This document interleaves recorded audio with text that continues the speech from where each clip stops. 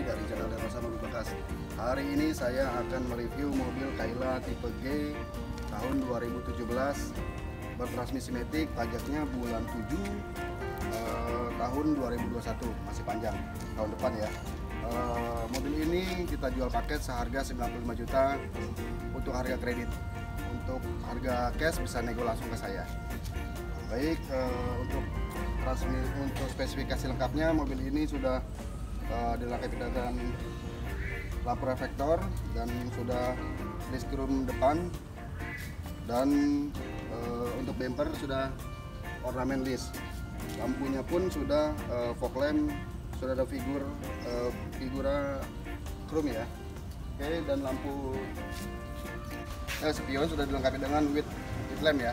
Sudah electric mirror dan mesinnya pun uh, 1200 cc sudah dual VTI baik. Kita buka kunci mesinnya kap mesin.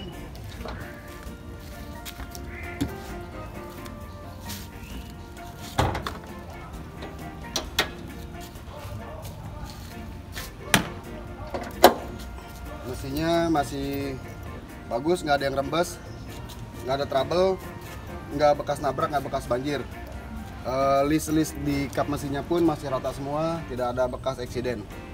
Di bullhead atau apron itu masih rata tidak ada keriting-keriting atau uh, bekas lecet atau terjadi benturan. Tidak ada aman ya semua. Baik ini mobilnya dua empat silinder sudah dual VTI bertransmisi matic baik. Untuk dashboardnya masih mulus semua. Door trim masih mulus.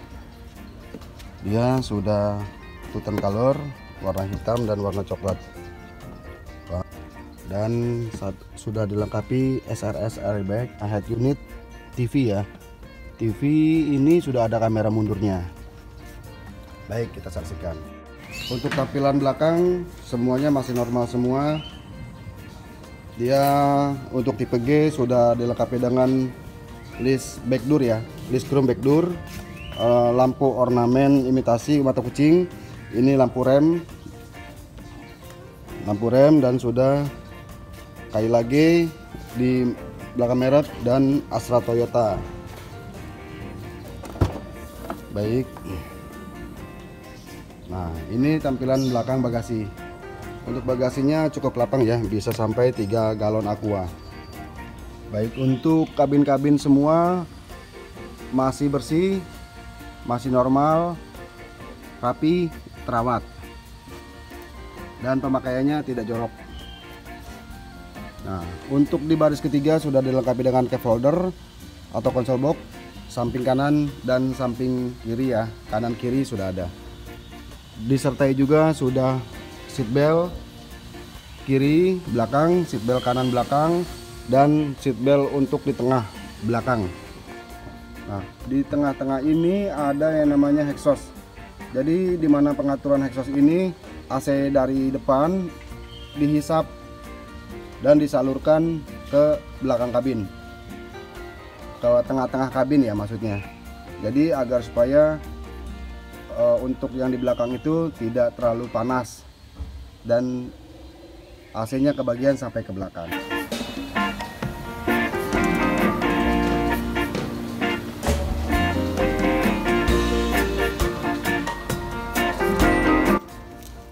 Oke baik. Ini kita nyalakan mesinnya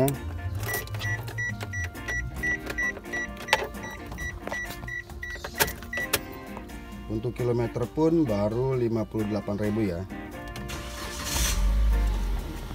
Baik. Uh, dilengkapi dengan kamera mundur. Kita cek kamera mundurnya. Nah ini kamera mundurnya.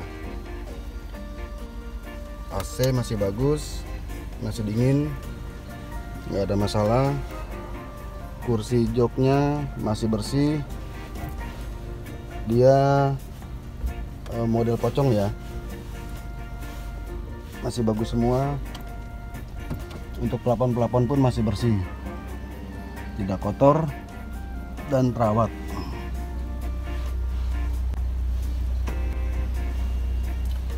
di sini sudah dilengkapi dengan output output listrik konsol box baterai setengah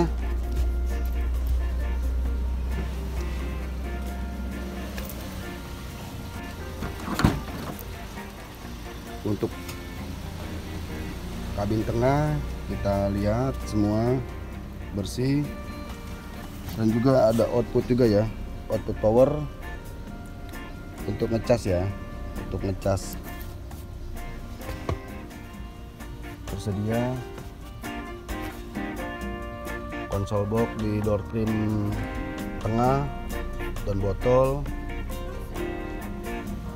back pocketnya ada di samping pun ada semua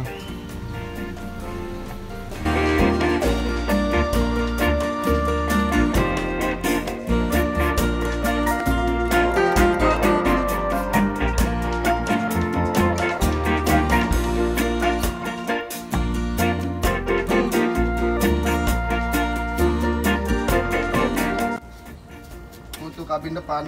Uh, mobil ini sudah dilengkapi dengan switch uh, switch window untuk uh, down dan uh, switch untuk window sebelah atau belakang ya.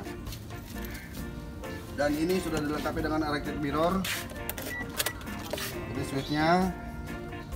Dan ini odometernya baru sekitar 58.000 Oke untuk AC-AC masih dingin semua. Dashboardnya masih bersih nggak ada lecet-lecet. Material pabriknya masih rapi. Sudah dilengkapi dengan SRS airbag ya. Untuk airbagnya untuk di pengemudi dan di samping depan. Oke. Baik sampai ketemu lagi dengan saya Didi Rosadi dari channel Derwasa Mobil Bekas jangan lupa subscribe